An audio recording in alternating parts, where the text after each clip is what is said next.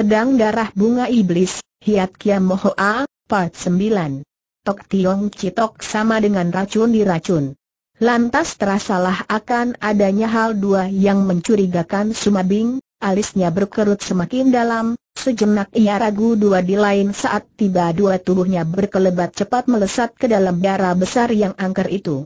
Mendadak dilihat jadi sebelah sana dua laki dua yang mengenakan pakaian ketat warna biru, tengah mengertak gigi dan mendelik sambil melintangkan pedang di depan dada sikapnya mengancam, tanpa terasa ia tertawa dingin dan mengejek, kukira seluruh penghuni biara ini sudah modar semua, kiranya, hanya separuh kata duanya dilihatnya keadaan kedua laki dua seragam biru itu sangat aneh, maka cepat dua ia telan ucapan selanjutnya, dan melangkah maju dua tindak, berdirilah bulu kuduknya.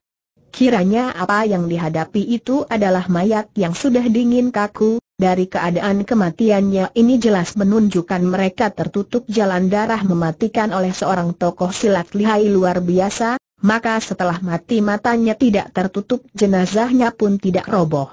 Dilihat suasana ini naga duanya pihak Cheng Sempe telah tertimpa bencana besar, waktu ia angkat kepala memandang sekitarnya, bukan olah dua lagi kejutnya, di sana di tengah pelataran bergelimpangan beberapa sosok mayat. Siapa yang telah turun tangan sekejam ini? Melewati pelataran besar Sumebing melangkah terus ke dalam, sepanjang di mana ia lewat dilihatnya mayat bergelimpangan bawa nyir darah merangsang hidung betapa seram dan mengenaskan keadaan kematian orang dua itu sungguh menggiriskan. Sampai yang paling belakang berdiri bulu keduk Sumabing, terdengar ia berkata seorang diri, semua mati, semua penghuni biara sebesar ini tiada satu pun yang masih ketinggalan hidup, betapa besar rasa benci dan dendam hatinya meluruk datang untuk menuntut balas, serta melihat banjir darah di Sam Cengkoan ini, sungguh mimpi pun tak terduga olehnya, sedapat mungkin dia menenangkan gejolak hatinya, pikirannya melayang kejadian yang telah dialaminya terdahulu, setelah tugas pertama memenggal kepala Cikong membawa hasil yang memuaskan lantas berturut dua ia menemui kegagalan yang menjengkelkan, entahlah itu hanya secara kebetulan ataukah memang telah diatur oleh pihak musuh. Atau mungkin juga ada peristiwa lain telah terjadi tanpa setahu dirinya. Dalam berpikir itu tanpa terasa tubuhnya sudah basah kuyup oleh keringatnya sendiri, Perubahan kejadian yang dialaminya ini benar dua di luar dugaannya dan lagi juga seram menakutkan. Kalau dianalisa secara teliti seolah dua merupakan serangkaian kejadian yang berhubungan satu sama lain. Tapi hakikatnya tak bisa dicampur adukan dalam satu persoalan. Untuk selanjutnya entahlah beberapa musuh lain yang akan dicarinya itu bakal terjadi perubahan mengenaskan apa lagi? Pandangan matanya penuh kecewa menyapu keempat penjuru, tidak tahu dia apakah Chiang Bung Jin Cheng Seng Pei Leng Hun Seng juga berada di antara mayat dua itu, karena bukan saja belum kenal juga dia belum pernah ketemu, lama dan lama sekali sorot matanya berhenti di atas sesosok mayat yang rebah diseram di sebelah sana. Dari pakaian yang dipakainya, usia dan wajahnya dapatlah diperkirakan mungkin dia itulah Leng Hun Seng adanya. Tapi dia sudah mati, apa aku harus menghancurkan jenazahnya? Sudah tentu tidak. Tekad bulatnya yang besar untuk menuntut balas dendam perguruannya lama-kelamaan semakin goyah, serangkaian kejadian yang nyata menunjukkan bahwa di belakang semua peristiwa ini terkandung suatu unsur bahaya yang susah dibayangkan. Tengah pikirannya tenggelam dalam keadaan sadar tak sadar itulah, Mendadak terdengar seruan dingin yang gemetar menarik kembali kesadarannya, Sumebing perbuatanmu ini benar dua sangat kejam, tersipu dua Sumebing membalikan badan, tampak di bawah teras sana berdiri tegak dan garangnya si orang berkedok yang belum lama ini berpisah dengan dirinya. Si orang berkedok bisa muncul di sini benar dua di luar tahunya. Saudara kecil, Kiranya kau inilah murid Siasin Sumebing yang menggemparkan kalangan Kang itu benar, itu tidak akan kusangkal, lantas kedatanganmu ini hendak menuntut balas tercekat hati Sumebing tanyanya, tidak salah, dari mana Bong Dian Heng mendapat tahu agaknya si orang berkedok menahan gelora hatinya, sahutnya gemetar penuh haru, apa masih ingat aku pernah berkata bahwa aku berhubungan sangat erat dan kental dengan Tiang Un Suseng Poh Jiang. Maka kejadian permusuhan antara gurumu dengan Bulim Sip Yeu dulu sedikit banyak aku mengetahui, peristiwa itu merupakan, salah paham salah paham? Hektometer, jengek Sumabing. Di markas besar Pang ia mendengar dari mulut Choh Hujin akan perkataan salah paham itu. Sekarang si orang berkedok yang misterius ini juga mengatakan salah paham. Apa mungkin? Baru saja pikirannya Mila yang dua, sekonyong dua si orang berkedok berteriak dengan bengis, Saudara kecil, perbuatanmu ini sungguh tak terampunkan oleh Yang Maha Kuasa, alis Sumabing mencengkit tinggi, tanyanya, Bong Bian Heng, Perbuatan apa-apa karena kesalahan seseorang lantas kau membanjirkan darah di seluruh biara apa kau tahu pasti bahwa aku yang turun tangan? Apa bukan kau? Desis si orang berkedok kaget. Sumabing manggut dua dengan geram, katanya, aku datang terlambat, tak dapat ku turunkan tanganku sendiri untuk membalas sakit hati suhu, sungguh sayang dan harus disesalkan, kalau begitu, saudara kecil benar bukan kau aku ingin akulah yang berbuat, bermula memang begitulah maksud kedatanganku. Bila Leng Hun Seng tidak mau unjukkan diri, aku tak akan mengenal kasihan. Sayang aku terlambat, sorot mata si orang berkedok menunjukkan kejut, heran dan gusar tercampur aduk, dengan nana ia awasi mimik wajah Sumabing, akhirnya berubah gelap dan luyu, katanya. Seperti menggumam, Siapakah yang telah berbuat sekejam ini memang atas munculnya si orang berkedok Sumabing sudah merasa heran dan curiga, segera mulutnya menyeletuk, Bong Bian Heng bagaimana kau pun bisa tiba di sini. Mencari jejak Tiang Un Suseng kau pun mencari jejak Tiang Un Suseng ya, begitu aku dengar bahwa kuburan Tiang Un Suseng ternyata kosong, lantas aku mulai mencari dan menyelidiki jejaknya. Sebab kita adalah sahabat kental tidak bisa tidak aku harus ikut mencari dan turut berkhawatir akan keselamatannya. Cuan rumah biara besar ini adalah salah satu dari Bulim Sip Yeu, maka tempat ini pun menjadi salah satu alamat yang harus ku selidiki juga, demikian si orang berkedok menjelaskan, tiba dua ia balik bertanya, Saudara kecil, apakah kuburannya itu adalah kau yang membongkar bukan, bukan, Lalu siapa seorang wanita misterius, aneh, menurut apa yang aku tahu, belum pernah Tiang Un Suseng bermusuhan dengan seorang wanita pun, wanita macam apakah itu seorang wanita berambut panjang berseragam hitam. Sejenak si orang berkedok menunduk sambil merenung, lalu menggeleng dua, naga duanya tak teringat olehnya siapakah wanita misterius seperti yang dikatakan Sumabing itu. Tiba dua ia mengalihkan bahan bicara, Tanyanya, saudara kecil, jadi kau benar dua adalah murid Lemsia, kau tidak percaya bukan tidak percaya, hanya gurumu itu. Dia belum mati dia belum mati suara si orang berkedok gemetar. Betul, karena dibokong dia orang tua kehilangan sebuah matanya dan kedua kakinya. Justru sangat ajaib akhirnya dia tidak mati, sampai, Bagaimana belum lama berselang baru dia meninggal karena racun dalam tubuhnya kumat. Oh, saudara kecil, maukah kau dengar cerita tentang peristiwa sebab permusuhan itu baik? Coba kau ceritakan. Konon tiga di antara Bulim Sip Yeu yang tenar menggetarkan kalangan Kang itu telah terbunuh di tangan Siasin KHOJ yang tanpa dosa. Dalam gusarnya tujuh kawan lainnya segera meluruh mencari Lemsia dan minta pertanggungan jawabnya. Lemsia sudah malang melintang di dunia persilatan, sudah tentu tujuh kawan itu insaf bahwa mereka pun tak bakal ungkulan menghadapinya. Sebaliknya bagaimanapun juga mereka harus membalaskan kematian tiga sahabatnya yang konyol itu. Siapa tahu begitu turun tangan baru mereka tahu bahwa urusan itu adalah latar belakang di luar sepengetahuan mereka bagaimana duduknya perkara naga duanya Luekang Lam Sia tidak seperti yang mereka duga sebelumnya, maka walaupun akhirnya lima dari tujuh kawan itu terluka berat, toh mereka terhitung mendapat hasil yang memuaskan. Setelah kejadian itu, Tiang Un Suseng menganalisa sebelum dan sesudah kejadian itu, baru akhirnya dia insaf bahwa mereka telah terjebak dalam suatu tipu muslihat seseorang yang keji yang telah direncanakan sebelumnya. tipu muslihat apakah itu pertama, bahwa Lem Xia membunuh Tem Yeu, tiga kawan, hanyalah berita angin, tiada seorang pun yang melihat sendiri. Kedua, dalam pertempuran itu sebelumnya Siasin KHOJ yang sudah keracunan. Ketiga, Suheng Buluh Cugi itu ganda menonton sambil menggendong tangan. Hal ini di luar batas tata krama lalu kenapa sebelum turun tangan Tiang Un Suseng tidak mau memberi penjelasan tentang maksud kedatangannya itu gurumu beradat aneh dan tinggi hati begitu melihat orang luar menginjak batas daerahnya yang terlarang tanpa banyak mulut lantas menyerang lebih dulu tujuh kawan itu tiada kesempatan untuk buka mulut.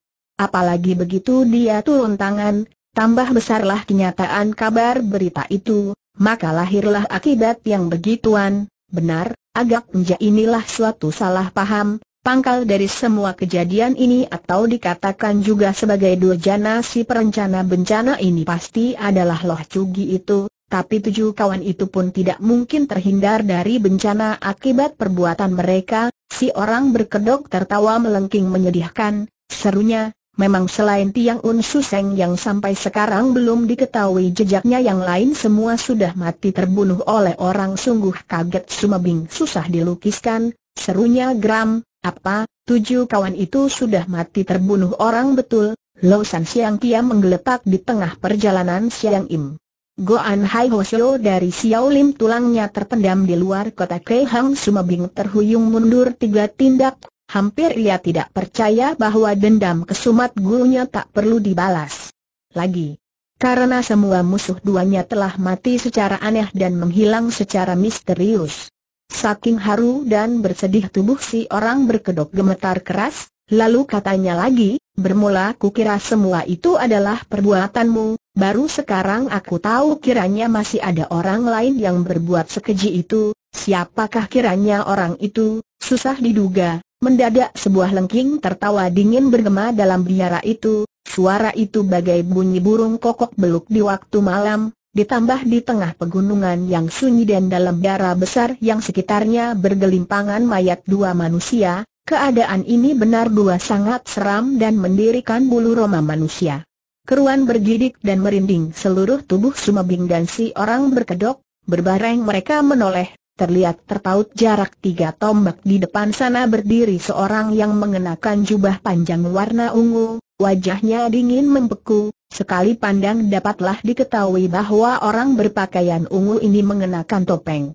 Sorot tajam dan dingin mata Sumabing menatap ke arah orang berjubah ungu itu, sapanya tidak kalah dinginnya, Orang kosen dari manakah Chuan ini tidak menjawab si jubah ungu malah balas bertanya, kau inilah murid Siasin KHO yang yang bernama Sumabing itu untuk apa kau menanyakan aku hehehe si jubah ungu perdengarkan tertawa dingin yang panjang, diselingi suara tawanya itu air muka si jubah ungu yang membeku bagai mayat itu benar dua membuat takut dan ngeri orang yang melihatnya. Sumabing mendengus Shina, katanya, Cuan apa ada yang menggelikan? Tidak ada, sungguh sangat kebetulan, dicari susah dua tidak ketemu, tanpa dicari ketemu sendiri, melonjak hati Sumabing, kiranya si jubah ungu ini tengah mencari dirinya. Dia belum lama kelana di dunia persilatan, belum pernah bermusuhan secara langsung dengan orang, delapan bagian tentu perhitungan lama gurunya itu, maka sambil mengerut alis ia bertanya, jadi Tuan hendak mencari aku betul, untuk mengambil jiwamu. Sejenak Sumabing tertegun lantas tertawa gelak dua, serunya, mulut Tuan ini sungguh sangat tembrang, apa kau mampu berbuat begitu segampang membalikan tangan sahut si jubah ungu tegas. Untuk apa kau bunuh aku karena kau adalah murid Lem Xia, ini sudah cukup jelas bukan dalam dua Sumabing membatin, tepat dugaannya kiranya malah salah seorang musuh burunya. Nada ucapannya itu juga persis seperti kata Pek Hoat Sian Liu, maka sahutnya sambil menyeringai, sedikitnya Chuan mempunyai sebuah nama bukan ada, tapi kau tiada harganya bertanya, di jalan menuju ke neraka sesat tua itu dapat memberitahu kepadamu. Seketika membaralah hawa amarah Sumabing, nafsu membunuh sontak merangsang hatinya, keras doa ia mendengus lalu serunya, baik, biar kuiringi keinginanmu, pada saat itulah mendadak si orang berkedok membentak dingin, pembunuhan besar duaan dalam biara ini apakah buah karya Chuan kalau benar kau mau apa? Ada permusuhan apa Cheng Sengpe terhadap kau, sampai demikian keji kau membanjirkan darah mencabut semua nyawa penghuni biara ini, pertanyaanmu ini terlalu berlebihan. Begitu kau menginjakan kaki ke dalam biara ini sudahlah ditakdirkan kematianmu, rasa gusar dan benci Sumebing yang belum terlampias saat itu sudah tak kuat ditahan lagi, segera ia menghardik keras, bangsat tak kabur, biar ku bunuh kau dulu, Mengikuti bentakannya kedua tangannya disodokkan ke depan membawa damparan angin bagai gugur gunung melanda ke arah si jubah ungu yang mengenakan kedok itu. Si jubah ungu ganda tertawa ejek sambil kiblatkan sebuah lengannya. Kontan Sumabing rasakan angin pukulannya bagai menerjang sebuah tembok besi yang kokoh kuat bum tenaga pukulannya membal balik. Kejutnya bukan alang kepalang, bahwa wetang lawan ternyata sedemikian tinggi susah diukur. Maka cepat dua ia menarik kembali tangannya sambil menggeser kedudukan ke samping lima kaki. Dalam waktu yang bersamaan si orang berkedok pun telah lancarkan sebuah hantaman hebat mengarah si jubah ungu. Tanpa perhatian si jubah ungu menjengek hina, sekali berkelebat, bukan menyingkir malah tubuhnya meluruk maju ke depan si orang berkedok, di mana tangannya diulur langsung dia cengkram ke dada si orang berkedok. Berkelebat, menghindar dan melancarkan cengkraman boleh dikata dilakukan dalam sekejap mata, cepatnya sukar diikuti pandangan mata. Saking kaget dan takut nyawa seakan terbang ke awang dua, demikianlah keadaan si orang berkedok waktu itu, untuk berkelit sudah tak mungkin lagi, dalam keadaan yang mengancam jiwa itu terpaksa ia berlaku nekat, sebelah kakinya diangkat secepat kilat menyepak ke jalan. Darah tantian di pusar musuh. Perbuatannya ini boleh dikata mengadu nyawa dan ingin gugur bersama, meskipun dirinya pasti terluka berat atau mati di bawah cengkraman musuh, tapi musuh pun harus membayar mahal dengan tersepak pusarnya. Hebat kepandaian si jubah ungu dalam keadaan yang tak mungkin menarik balik serangan bagi orang lain tahu dua secara licin luar biasa tubuhnya melesat ke samping tiga kaki. Maka dalam waktu yang bersamaan tendangan si orang berkedok pun mengenai tempat kosong, sebat sekali ia pun segera berputar menyingkir lima kaki jauhnya. Kini jarak mereka meski hanya setombak lebih, si jubah ungu berteriak melengking, wut, wut dua kali tangannya terayun aneh dan cepat sekali melancarkan pukulan dahsyat yang berkekuatan besar. Belum si orang berkedok dapat menenangkan hatinya, Angin tenaga pukulan musuh sudah merudung tiba bagai gugur gunung terpaksa lekas dua ia gerakan tangannya untuk menangkis. Benturan menggeledak yang memekakkan telinga terdengar santer sekali, dibarengi seruan kesakitan yang sangat lalu disusul sebuah bayangan orang terpental terbang jatuh di tengah ruang sembahyang. Hampir dalam waktu yang bersamaan, si jubah ungu pun terhuyung mundur dua langkah, tak urung mulutnya pun mendehem keras seperti mau muntah. Kiranya bersamaan dengan si jubah ungu memukul terbang si orang berkedok, dari sebelah samping sana Sumebing pun lancarkan sebuah pukulan yang menggunakan setaker tenaganya. Sebenarnya tujuannya hanya mau menolong keselamatan si orang berkedok, sayang ia terlambat setengah detik. Si jubah ungu mengekeh tawa aneh lalu serunya, Sumabing, apakah Haolosia benar dua sudah mati? Tidak menjawab pertanyaan orang Sumebing lancarkan lagi sebuah pukulan. Ringan sekali si jubah ungu melejit menyingkir sembari berkata, cincin iblis kepunyaan KH Olosia tentu sudah diturunkan kepadamu bukan Sumebing mendelik dan mengertak gigi, sahutnya, tidak salah, kau ingin apa? Hehehe, kematianmu sudah di depan mata, maka aku harus tahu jelas supaya tidak jatuh ke tangan orang lain, Kau tahu pasti bahwa kau tidak mati mengapa tidak kau coba dua, sambil menggeram gusar Sumabing lancarkan serangannya dengan jurus Liu Kim Hoa Chiok. Seperti diketahui jurus Liu Kim Hoa Chiok ini pernah membuat putra racun utara Tangbun Yeu terluka berat, memang dunia persilatan masa itu yang kuat menyambut pukulannya ini hanya beberapa gelintir saja. Siapa tahu apa yang dia saksikan dalam gelanggang yang dihadapinya ini ternyata benar dua di luar dugaan. Tanpa menyingkir atau berkelit si jubah ungu cukup memutar dan melintangkan kedua tangan, Perbuatannya ini kiranya cukup membuat Sumebing tidak mampu melancarkan jurus serangan jar, malah terdesak mundur tiga langkah lagi.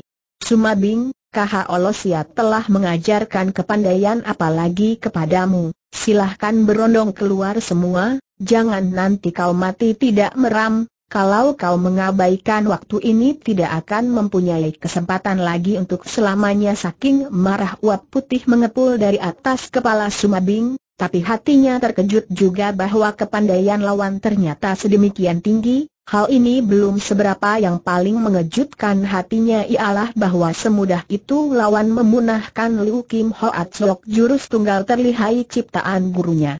Akan tetapi karena sifat pembawaannya yang keras, kepala dan tinggi hati tak mau dia tunduk atau menyerah mentah dua. Sambil berteriak panjang Sumebing lancarkan lagi pukulannya yang ketiga kali. Kali ini si jubah ungu tidak berani berlaku gegabah, sedikit menggeser kaki tubuhnya melesat menyingkir. Waktu Sumebing menarik pulang pukulannya otaknya berputar seketika timbullah kekuatan Kiu yang Sin Kang dalam tubuhnya, kalau sekali pukulannya ini gagal lagi, maka susahlah dibayangkan bagaimana akibatnya. Dibarengi bentakan nyaring gelombang panas bagai lahar gunung berapi bergulung dua melanda ke depan.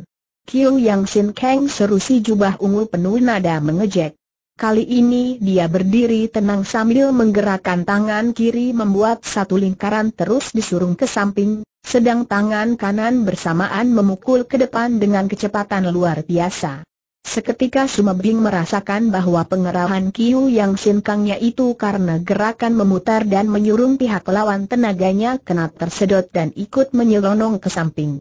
Tanpa terasa arwahnya bagai melayang meninggalkan badannya, untuk menarik kembali atau berkelit sudah tidak sempat lagi, sedang sebuah pukulan musuh yang berkekuatan dahsyat pun sudah merangsang tiba.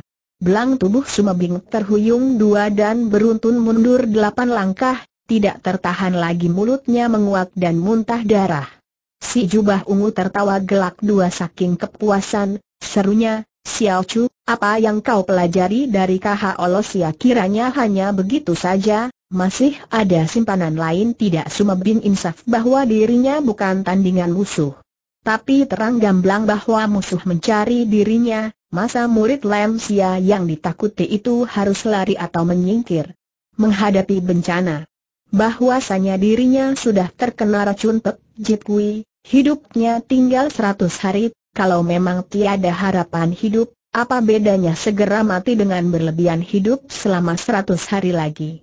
Dalam berpikir itu secepatnya ia merogoh keluar cincin iblis terus dimasukkan ke dalam jari tengahnya. Begitu melihat cincin iblis itu, Segera kedua mata si jubah ungu di balik kedoknya itu menyorongkan rasa takut dua dan tamaknya, katanya dingin. Mohoan, sedetik lagi dia akan menjadi milik wajah Sumebing sudah penuh diliputi nafsu membunuh, maju beberapa langkah ia kerahkan tenaga saktinya, seketika mohoan di jarinya itu menyorongkan sinar terang yang menyilaukan mata tapi hanya secarik sinar yang menyeluruh memancar ke depan bagai sebatang pedang sejauh satu tombak lebih. Terdengar si jubah ungu menggumam, kalau mohoan ini di tanganku, dalam jarak dua tombak dapat ku penggal kepala orang, kukira tidak menjadi soal, Sumebing mendengus dan katanya, dalam jarak setombak ku penggal kepalamu, kukira juga tidak menjadi soal, Sambil berkata ia melangkah maju sambil mengayun tangan, sejalur sinar dingin kemilauan sepanjang satu tombak segera menyapu datang bagai kilat menyambar, sebat sekali si jubah ungu melompat jumpalitan ke belakang sejauh dua tombak, di mana kakinya menginjak tanah kini dia berada di luar pekarangan. Tidak perlu disangka lagi, ternyata dia pun gentar menghadapi keampuhan cincin iblis ini. Sumabing mendesak maju beberapa langkah dan turun dari undakan berdiri tegak di tengah pekarangan. Saat mana si orang berkedok yang terpukul terbang oleh hantaman si jubah ungu juga sudah bangun lagi dan menggelendot di pinggir meja yang terbuat dari kayu cendana. Sedikit pun ia tidak bergerak lagi, entah apa yang tengah direnungkan. Sepasang mata Sumabing mendelik bundar menatap si jubah ungu, katanya, sebelum kubunuh kau, Aku ingin tahu namamu dan tujuan kedatangan busi jubah ungu terloroh dua ejek, serunya, Sumebing namaku kau tidak perlu tahu, tujuanku hendak membunuh kau. Malah boleh ku tambah mengapa aku harus membunuhmu, karena kau adalah murid Siasin KHOJ yang hampir meledak dada Sumabing, bentaknya beringas. Kau sudah pasti mati, sinar dingin yang menyorong dari cincin iblis di jarinya semakin melebar dan tajam, di mana digerakkan terciptalah sebuah jaring sinar putih yang mengurung seluruh tubuh si jubah ungu, terdengarlah juga suara mendesis yang menambah keseraman keadaan sekelilingnya. Si jubah ungu berloncatan berkelit dengan lincahnya enteng dan tangkas seperti setan tanpa bayangan sungguh hebat pertunjukan ilmu ringan tubuhnya ini, namun sedikit pun ia tidak berani terang duaan menyentuh sinar jaringan mohoan. Menggunakan cincin iblis menghadapi musuh hanya mengandalkan tenaga murni yang didesak keluar menambah keampuhan senjata itu, kalau terlalu lama tentu hawa murni dalam tubuhnya akan semakin susut dan ludas. Agaknya si jubah ungu tahu akan kelemahan ini, selama ini ia hanya main petak dan pertunjukan gerak tubuhnya yang lihai tiada taranya dalam dunia persilatan, karena berlompatan dan berlarian dalam pekarangan yang sedemikian besar, terpaksa Sumebing pun harus mengejar dan menyerang kalang kabut hingga napas pun megap dua. Setanakan nasi kemudian, keampuhan sinar cincin iblis itu semakin suram sinarnya hanya menyorong tinggal delapan kaki jauhnya. Gundah dan gugup hati Sumebing insaf dia bahwa tenaga murninya semakin susut, Seluruh tubuhnya sudah basah kebes oleh keringat tapi ujung jubah musuh saja belum disentuhnya. Kini tibalah saatnya si jubah ungu balas menyerang, dengan kekuatan pukulan yang susah diukur dia lancarkan, sembilan kali pukulan dari sembilan kedudukan yang tidak sama, angin pukulan bergelombang tinggi bagai damparan ombak yang berlapis dua menerjang tiba dari pelbagai penjuru mengarah satu sasaran. Begitu si jubah ungu selesai melancarkan sembilan pukulannya, sinar terang yang menyorong keluar dari cincin iblis seketika lenyap dibarengi suara kesakitan yang luar biasa tubuh Sumebing terpental terbang balik ke dalam ruangan besar karena damparan gelombang pukulan musuh yang dahsyat. Agaknya si jubah ungu masih belum puas, sekali berkelebat dia melompat di atas undakan sambil lancarkan lagi sapuan tangannya. Belang lagi dua sumebing mengeluarkan suara menguap keras darah pun menyembur deras dari mulutnya, tubuhnya terpental lagi lebih jauh kebetulan tubuhnya meluncur ke arah si orang berkedok, cepat dua dia ulurkan tangan dan tepat sambut tubuh sumebing ke dalam pelukannya.